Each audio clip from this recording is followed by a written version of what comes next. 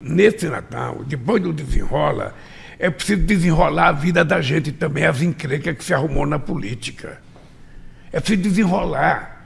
O pai que está enrolado numa briga com o genro, com o filho, com a filha, precisa desenrolar, acabar com essa dívida e voltar a família a viver em paz. Sabe, almoçar junto no Natal, no Ano Novo, fazer a ceia, sem brigar, sem discutir política. Sabe, na hora que a gente junta a família, a gente não tem que saber quem é flamenguista, quem é corintiano, quem é gremista, quem é internacional, quem é paysandu, quem é remo, sabe, quem é uh, Corinthians ou Palmeiras. A gente não quer saber. A gente quer saber tá que junto. a gente tem família. Uhum. É tão fácil ser bom, gente.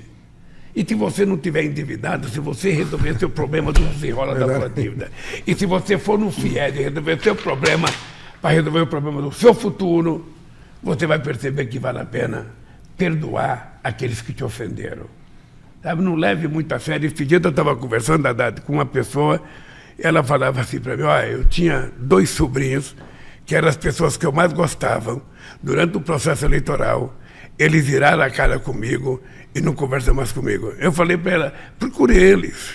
É procure eles, não, não, não discuta política. Se ele quiser discutir política, não discuta. Se eles forem fanáticos, deixa eles ser fanáticos, mas discuta outras coisas, outras coisas, porque é importante a gente reagrupar o Brasil. Reagrupar. Nós não queremos que todo mundo seja igual. Nós queremos que todos nós nos, respeite, nos respeitemos. É isso.